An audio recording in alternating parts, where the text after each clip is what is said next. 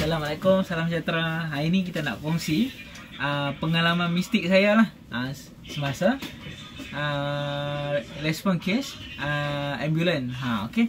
So, uh, kita dapat kes sakit medical lah. Okay. Sampai-sampai di lokasi jam 10 pagi macam tu, um, mendapati ada satu orang wanita uh, 80 tahun Chinese uh, wanita lah. Uh, keadaan mangsa mangsa mengadu sakit di bahagian perut ha, sejak 4 pagi tadi. Ha, so, mangsa ni bekerja sebagai uh, penjual ayam dekat pasar pagi lah.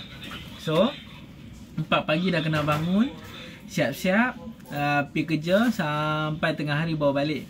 So, 4 pagi tu dia bangun dalam keadaan sakit perut, tak selesa dekat dada dia. Then, kita tanya dia lah, ada tak pernah sakit jantung sebelum ni? Tak ada. Then, kita uh, tanya ada pernah gastrik tak sebelum ni? Yes, pernah ada gastrik. Kita pun okey lah mungkin gastrik kot. Tapi kena jaga-jaga juga takut jantung kan. So, bila cek BP apa semua, uh, BP tak dapat detect. Uh, kemudian kadar nadi uh, sangat uh, rendah. Kemudian SpO2 pun rendah, 72 saja. So, kita cepat-cepat buat nak ambulans cepat-cepat bagi oksigen dan bila orang yang uh, susah bernafas ada masalah uh, uh, bernafas ni kita akan tinggikan stretcher untuk bagi dia selesa bernafas. Orang yang susah nafas bila dia duduk lebih senang nafas. Sebab bila kita duduk paru-paru kita terbuka lebih besar berbanding kita baring. So bila kita duduk senang lagi untuk kita bernafas. Ha, so kita pun bagi dia duduk, bagi oksigen, cepat-cepat bawa ke hospital on the way ke hospital boleh bercakap, boleh sembang lah. Uh, tadi last makan pukul berapa, uh, sign and symptom dia semua kita boleh tanya. Makcik ni pun ramah tadi sebenarnya. Uh, dia boleh sembang, boleh senyum apa semua walaupun dia tengah sakit perut lah. Okay. Tapi masuk je hospital. Okay. Makcik ni tiba-tiba uh, tengok di sebelah kanan saya ni. Padahal sebelah kanan saya masa tu tak ada siapa pun. Okay, Rakan saya ada di bangku depan ni. Makcik di tengah tiba-tiba dia tengok di sebelah kanan ni. Kemudian dia terkejut. Mukanya berubah. 360 darjah. Berubah tiba-tiba terkejut.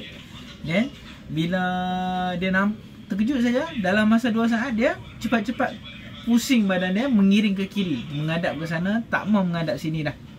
Okay So kita pun tak apalah makcik ni merajuk kot. Kita cakap silap kot kan? Tapi tak sampai 10 saat selepas tu makcik ni jadi tarik. Macam sawan. Tarik tarik tarik. Dan kita pun macam aish makcik pasal apa ni makcik sabar sabar sabar. Sawan ke makcik sawan ke apa kita pun cepat-cepat bawa pesakit turun daripada stretcher nak masuk ke uh, red zone lah. Uh, okay. sampai-sampai red zone mendapati tiada nadi tiada pernafasan cepat-cepat buat CPR terus ke resusc zone. Ha, so uh, bila dah selesai kes tu kita pun balik base dapat kes kedua pula. Okey, kes yang lain ada uh, kita ke hospital semula mendapati makcik tadi dah uh, tidak bernyawa lah. Uh, maksudnya last office. Uh, mereka dah ikatkan dengan kain kemudian dah kiamkan tangan kan last office maksudnya dah uh, meninggal dunia uh, kita panggil LO lah last office. Uh, kita uruskan jenazahnya untuk uh, kemudian serah kepada uh, forensik pula. Okey jabatan forensik lah uh, uh, dekat uh, forensik hospital tu lah. Kemudian bila dah lama lepas tu kita pun fikir balik. Aish, kenapa makcik ni bila dia tengok kat sini tiba-tiba muka dia berubah muka jadi takut. Kemudian tiba-tiba muka jadi pucat.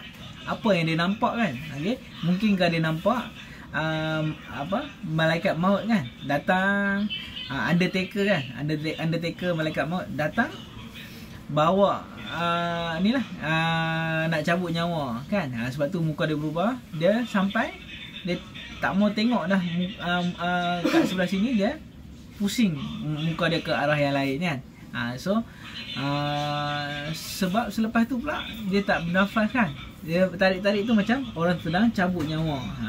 tapi sampai sekarang benda tu masih jadi teori lah ha, mas, tak, tak boleh dibuktikan sebab tak ada kamera yang boleh nampak entiti terbabit kan ha, yang tak ada uh, benda yang boleh membuktikan kehadiran uh, apa-apa benda lah ketika tu no? ha, so apakah pengalaman mistik anda semasa bertugas? Ha, kongsikan. Terima kasih kerana menonton